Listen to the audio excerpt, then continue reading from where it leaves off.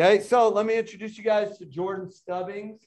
Okay, um, Jordan is probably one of my all-time favorite kids um, that I've ever had at Legend.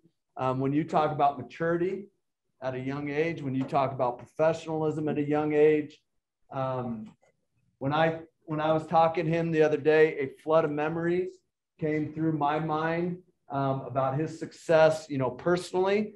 But I think he was a big reason. Um, and Jordan, I want you to talk about your team success at Legend, but why his teams were successful. Um, when you talk about, you know, and you guys all know I'm going to be the athletic director. One of the things that I am really going to push our athletes on is how are you a leader and breaking the selfishness of your club coaches and your club crap. And I hate your clubs. I hate your club coaches. If you pay me $5,000 a year, I'll tell you you're amazing and you're the man. Okay. I'll tell you the truth because you don't pay me anything. And we got to break that. And if everyone was a teammate like Jordan Stubbings, we would be winning a lot more championships than we do at this school. Okay. Because he's the most unselfish. Again, like Derek, get that? He was the best baseball player um, at the school, but he was humble. He never acted like that. And I always appreciated how he treated adults. Um, we were talking yesterday. My son, when he was, I don't know, five years old, he wanted to go to a legend baseball game. And after the game, Jordan pulled him down. And, you know, there's this huge, huge victory at game day, Double Angel Field. And Jordan puts him on his shoulders throws on a picture. Um, you know, and these pictures come up in our Facebook memories and things like that. And uh, Nicholas's brother Matthew um, is number eight because guess who was number eight at Legend in high school? Jordan Stubbings. Okay, so he just um, when you talk about being a role model to younger kids, and my my athletic journey was based on admiring high school athletes. I don't think you guys realize the impact you can have on younger athletes. Okay, so with that being said, Jordan is at Mesa State College. That is a Division two school. Some of us went on the ski trip. We visited Mesa State. They have a beautiful baseball. Oh, sorry. Yep, I'm old. I'm old. Hey, when I when Fort Lewis played there, when I was there, yeah. it was Mesa State. Yeah. No, it, sorry. It, it changed in like 2010 or something like that. Yep, yep. I'm that old. Okay. So, anyways, um, has had great success there. Was the RMAC. RMAC is uh, one of those conferences I told each of you to look up in terms of schools that actually recruit you in Colorado. He was the freshman of the year. He's been an all conference player. He's finishing up his last season. His uh, Colorado Mesa um, goes against University of Colorado, Colorado Springs uh, Friday, right? Friday. Tonight. Tonight. I play. Most of you probably know my brother as well. He plays for uh, UCCS, and he's having a hell of a year this year too. So, they yeah, play. he get, plays his little brother tonight. Get to send him home. Yeah. yeah. Yeah, there you go. There you go. All right. So, with all that being said, love Jordo. Thank you for taking the time, Jordo. Um, mm-hmm. I'm going to turn it over to you to impart your knowledge on these kids. Um, but can you just kind of start? Tell us about your athletic journey um, you know, you kind of grew up as a Parker, maybe Elizabeth kid. I don't know. You're out there east somewhere.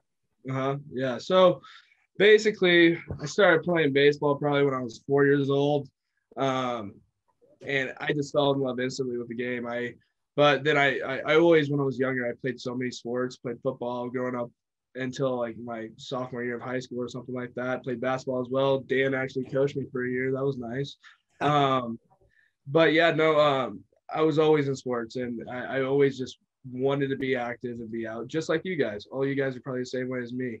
Um, so basically, I started off playing a lot of baseball. I, I, became pretty good at it. I started playing up uh, age group or so when I was like eight or something. I played with uh, Bo Weiss and a bunch of other guys who Bo Weiss is Walt Weiss's son. He used to be the head coach of the Rockies. So I got to be with a, I got a lot of knowledge when I was younger. And the biggest thing that I've learned from Walt Weiss, as him being a head coach of the Rockies, he always says, you know, the little moments, the moments that you're going to remember the most. You're never going to remember what you did in high school in a certain game, but you're going to remember all the memories you have with all these teammates. So personally, I tried to make every single moment that I had at Legend or playing club ball or something like that as memorable as as memorable as I could to, you know, have those memories as I go. I, this is my last year of uh, college this year, and I've been to the national championship. I played and started the national championship game for Mesa two years ago.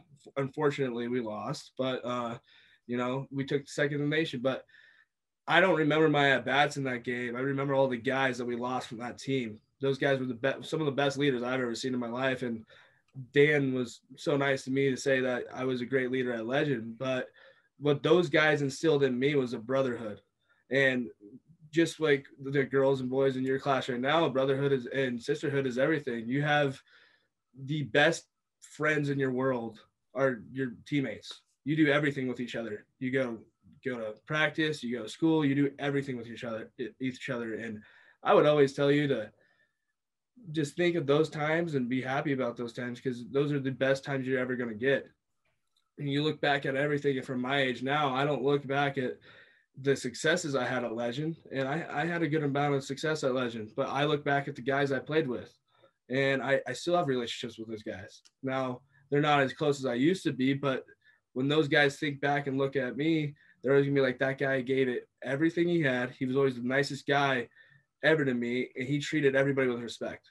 And that's the one thing that I want everybody else to hear. I mean, we have a football player in the class, right? Raise, your, hand. hand. Yeah, you guys football players. Yeah, you guys have been really good, really, really good lately. And when I was there, we didn't win a single game against Chap. Four years in a row, didn't win a single game against Chap. So just be thankful for the opportunities that you guys have now. You guys are playing in state semifinal games. That that never been a dream for some legend teams when I was there. So just be thankful for where you're at before you start thinking you're the crap and everything like that.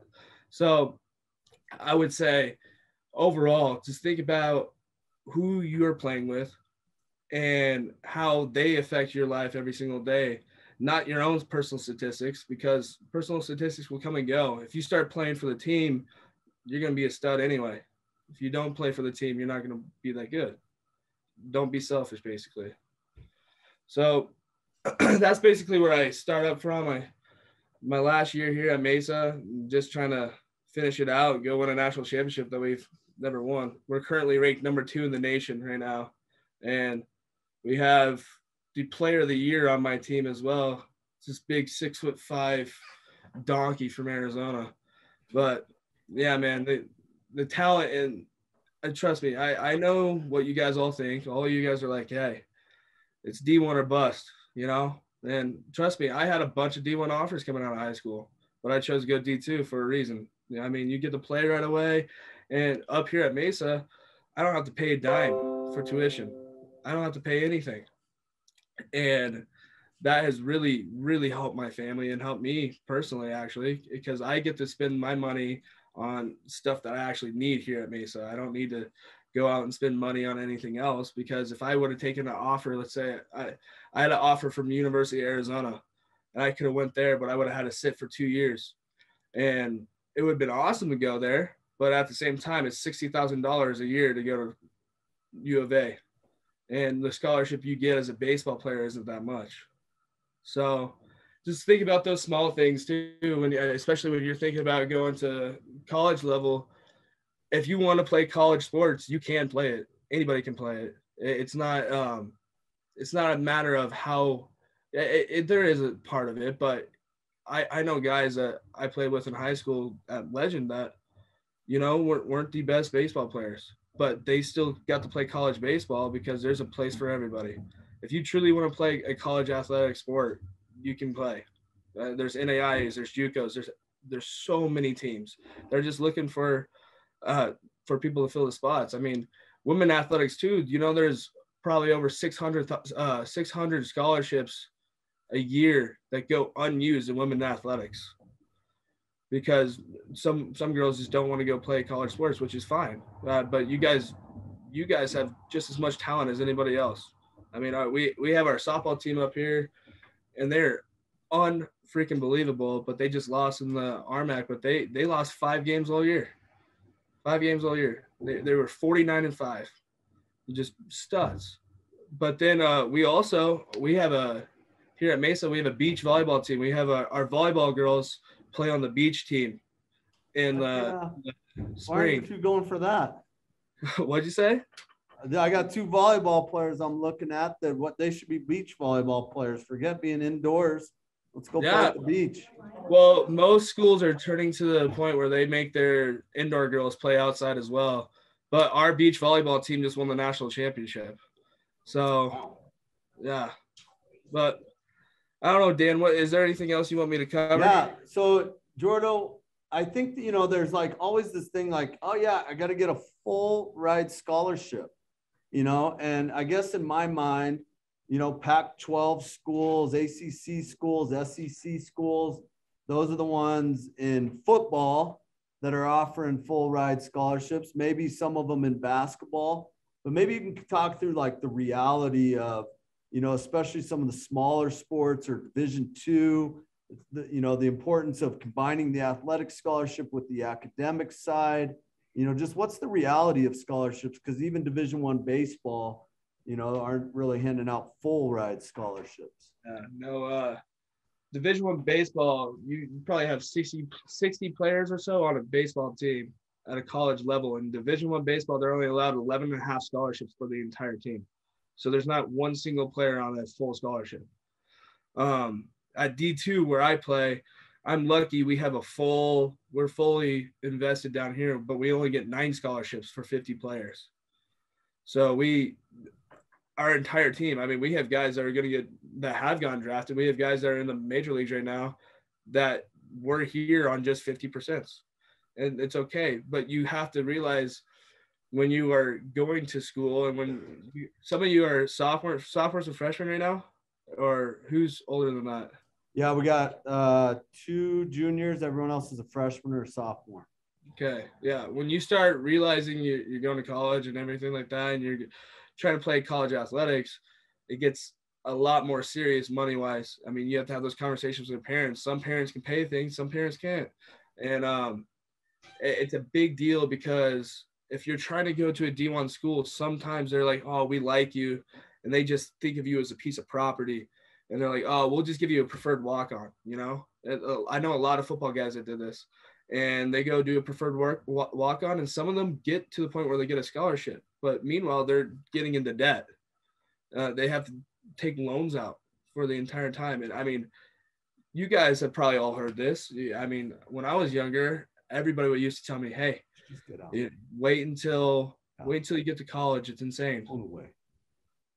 Sorry jordo.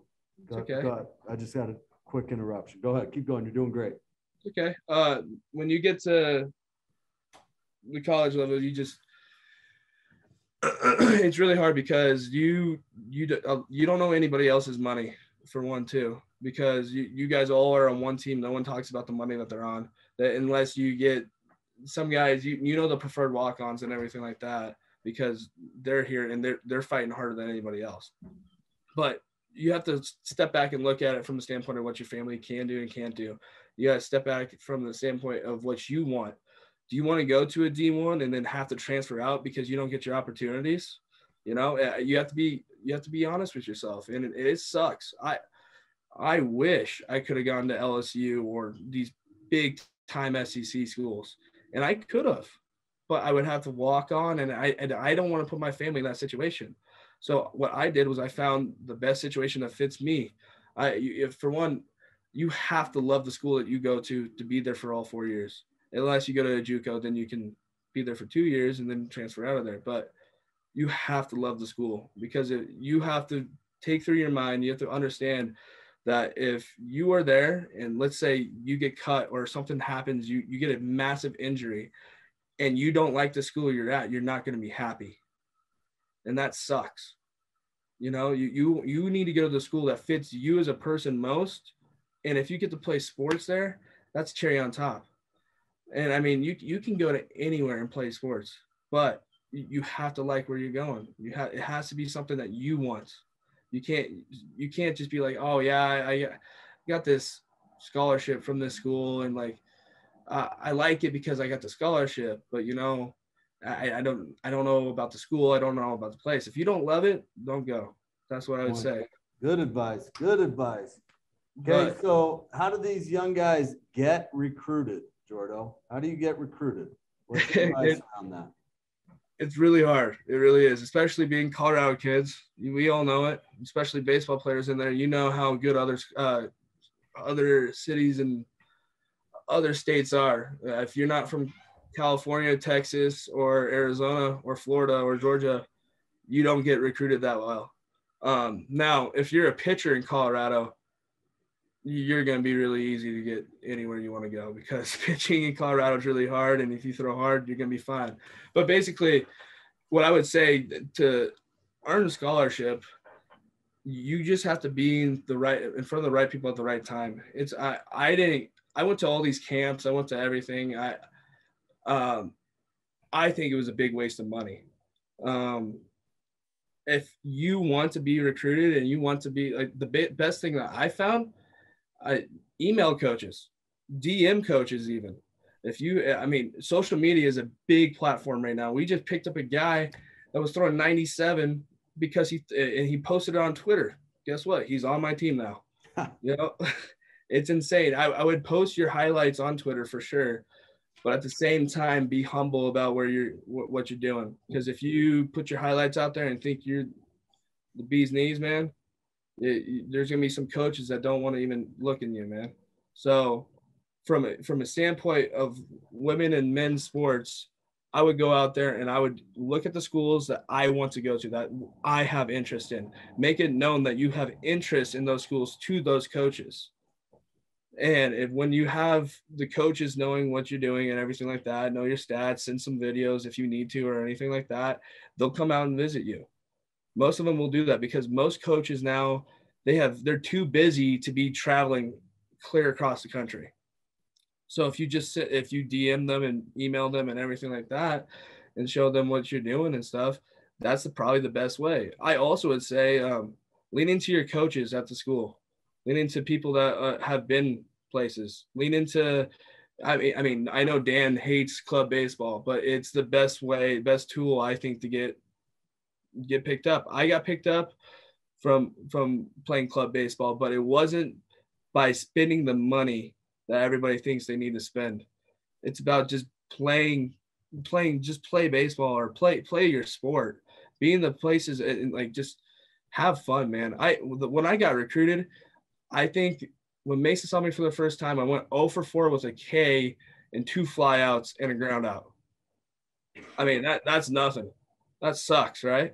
Anybody says that that sucks. No, they they recruited me off of that game, Huh. and they recruited me because of the way I played the game, the way that I led the team, and the way that I was respected by the other team. When if you let your play define the way that you have fun out there and everything, like if you let your attitude out on the field and just have fun and smile and, and play your game, you're gonna be recruited that much easier. Good, great advice, Jordo. I don't hate club baseball. I love. I run clubs. You know that. I just Oh, I know hate uh, clubs run by dads who don't know what they're doing.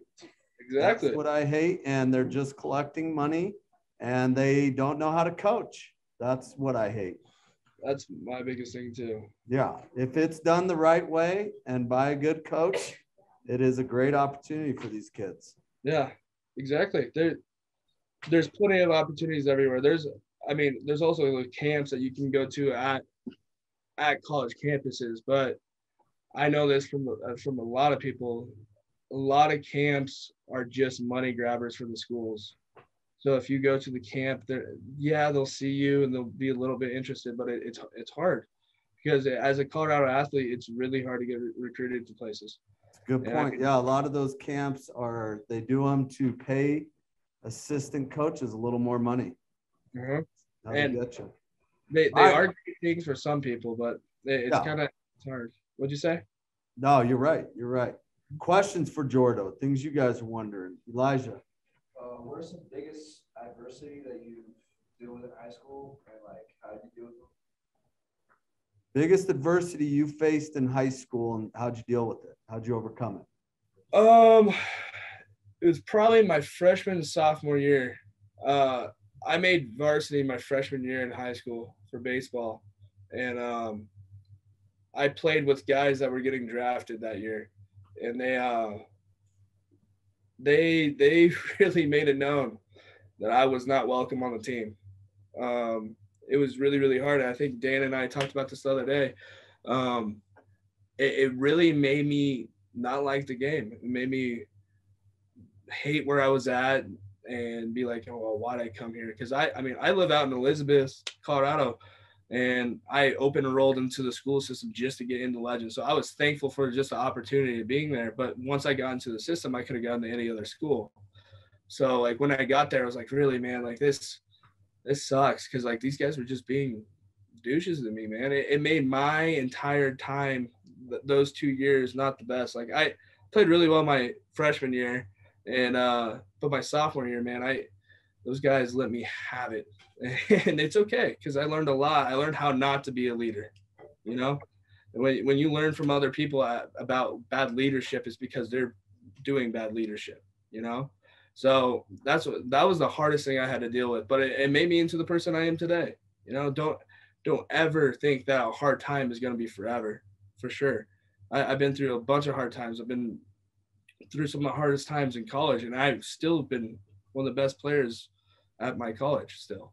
So it, it there there are some tough times, but if you can be a great teammate, just know that other people go through tough times all the time. And if you can be that teammate that somebody can rely on and be that leader, then you're gonna make people's lives, man. I, I hope you guys are all hearing that because I think a lot of you have experienced jerk older teammates and you need to think about how you want to be perceived by younger teammates because you guys are going to become juniors and seniors here pretty soon. And I'm telling you right now, like this guy was unbelievable. We did a college tour one year, not this year, but before. And uh, McCormick and I just went to the baseball field to see if we could find Jordo and Brody, who's on it, his buddy. Um, and all of a sudden, you just hear this guy cheering. And it's like, oh my gosh, that's Jordo. And we come around the corner here he is a college athlete like hyping up his teammates things like that you know and uh, i just remember how how good a care you took of those younger kids on your team and how you made them feel part of a team not jealous that they were freshmen on the team or anything like that but they yeah. were your teammates. Well i would say uh, for the older guys in the room just know that those guys when you leave are taking over the program. So it doesn't mean anything what you're doing right now because what you're doing is you want to I, I, mean i was big into pride about my school and everything like that. I wanted to leave it better than i found it. That's my whole that was my whole philosophy. If you can do that as a football player you can do that as a volleyball player you can do it as a basketball player you can do it as anybody. Your whole goal should be i want to leave this program better than i found it. And to be able to take those freshmen that are coming up because i'm doing the same thing here. We have a bunch of young players and what you want to do is you want to make sure those guys will be able to succeed when you're done. And that that's the biggest thing I would say is, and guess what? The guys that did that to me when I was younger, when I was a freshman here, I'm in their weddings now. Like I, I we, it, it's just how life works, man. Like I, I mean, I just recently got engaged, and all my buddies, these young guys, are all gonna be in my wedding. So like it, it is crazy the way that life moves, and it, and at the end of the day, you are at your college to play sports, but it, it's about the teammates that you have. And it's about the teammates that you guys have right now. Those young guys look up to you guys no matter what. They do. It's it's insane. I mean, I I think of the kids. There's a kid here at Mesa um, who went to Legend and everything like that, and he always told me the reason why he plays the way he does is because the way that I treated him and how I made him feel uh, feel as a player. I did I my senior year at Mesa, not at Mesa, at Legend, we had four or five seniors, but we had four sophomores that started on our varsity team, and we lost in the state semifinal game. Um, but it was because of those sophomores that we did well. And if us as a senior group didn't accept those guys into the group, we wouldn't have done well at all and usually freshmen get and sophomores get destroyed by upperclassmen. But it's it's a pride thing. You gotta put your pride aside. You get you gotta have fun and you gotta make sure that those guys know that without them, the team is nothing. They're a very important piece of the team, even if they're not playing. So that's what I was about to say. I mean, if you want to have success in high school, you can have personal self accolades and everything like that. But if you want to win and you want to win a lot, you gotta make sure you're a good teammate. Yes, yeah, preach it, Jordo. Um, so Jordo, I, I I could listen to you talk all day, buddy, but we have got to get to our next class here in a couple minutes. Yeah. So I just want to turn it over to these guys. I don't know that I have time for questions, but I want you guys to just words of gratitude, something that resonated with you. Yeah, go ahead, Maya. Um, I thought it was cool that you're talking about like you have to really love the place that you like want to play at. It's like find a college that you actually enjoy, even if it's not like a really big school, because like you're gonna have to live there. Like your life's gonna be there, and it's not Mhm. just I'm gonna play here because it's a big name school. Like you have to go somewhere that you really enjoy and like truly care about. Exactly. Exactly. You're really right. Jaden. Um, so I just want to thank you for like talking to us and stuff. But my like takeaway from this was uh, like the attitude part, like having fun on the court, not having your play like determine how if you're having fun or not. Because I mean, I have a couple teammates in here. Sometimes I get really pissed and like yell at them, which like affects my game and everyone else's game. So I'm just gonna take that, uh, take that and like work on myself and make myself a better teammate player. Awesome reflection. Kale. Uh, what inspired me was that that you thought about yourself, or that you didn't think about yourself, but the others around you, whether it was your family or your friends. Like you had the opportunity to go D1, but you chose to go D2 just because of your family. And um, you were talking about how like the younger guys on your team, you really brought them in and uh, uh, pushed them to be better. And I, I would just add to that what I want all of you guys to think about. You know what I'm tired of doing is walking into your classes and you all are sitting next to each other in every class. And I think about this how are you a good teammate in our program to your classmates? Okay. I want you to reflect on that. I had a freshman student yesterday tell me he's thinking about leaving the program. Not because of anything, not because of me, not because of anyone else leaving or anything like that, because he feel like he hasn't made very many friends here. How sad is that? What's your leadership in your classes? Last one for Jordo. Anyone else? I saw a lot of hands. Yeah, thanks, Paige. Um, I feel like it was really nice for me to like take a step back and like reflect on like I'm not always gonna love my sport, especially like going from high school to back to club. Like I really just I'm like I'm done. Like I don't want to do this anymore, but I'm like pushing through just because I want to do good in high school. So. Awesome. Good reflection, Paige. Aislinn? Um, I just like the teammate aspect that you said to like lift up the younger kids that are coming in. Because last year, um, me and my teammates were definitely scared or nervous coming in and intimidated by all those upperclassmen, but they were super loving and invited us in, and it kind of brought up our confidence to play. And I, I just think that's a super important part that I need to execute too.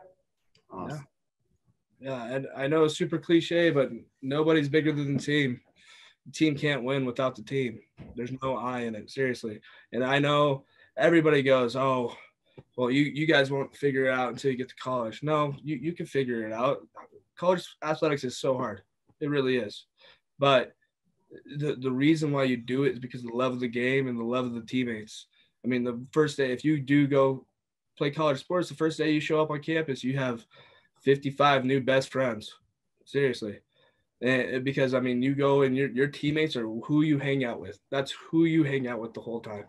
And we, yeah, of course, you hang out with other uh, other sports and everything like that. So, at the end of the day, I just say, hey guys, thanks for letting me talk, and um, just love where you're at, be where you're at, be where your feet are at. Enjoy these times now. When I'm looking back at high school, I had so much fun, but it's because I got to enjoy the time I was there. Enjoy what you're doing now. This is my fifth year of college. I'm probably done with baseball. I could have been drafted, and I still can, but my goals in life have changed from making my sport my everything and making relationships my everything. That it's everything is about relationships. And if you don't have a good relationship with everybody else, you're gonna think back on your time at Legend and be like, damn man, I that was a tough time, you know. But if you have good relationships there and you you be where your feet are, you're gonna have a lot of fun and you're gonna win a lot of games and you're gonna get recruited because you know what? When your team is good, scouts show up. When the good team is winning, scouts show up. So Oh, if ah, you guys preach it, Jordo. Hey, he You is guys- hands down the best teammate I've ever coached in my life.